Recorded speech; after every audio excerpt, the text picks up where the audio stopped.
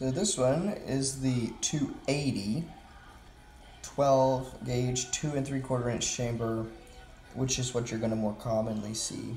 Again, Ithaca by SKB. Fore end grip is also wider than the barrels. This one's got a real high sheen on it.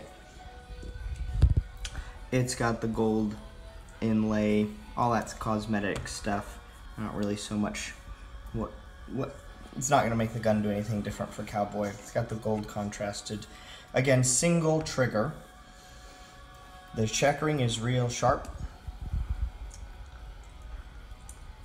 But this is the straight stock.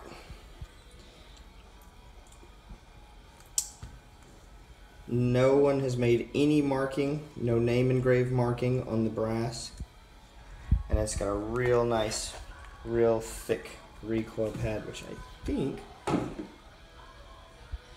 Nope, it's the aftermarket pad. It is not the original pad.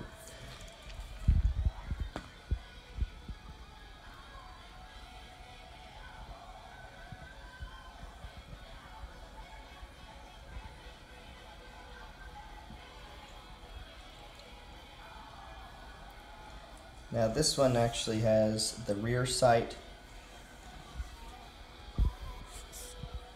and the front brass sight.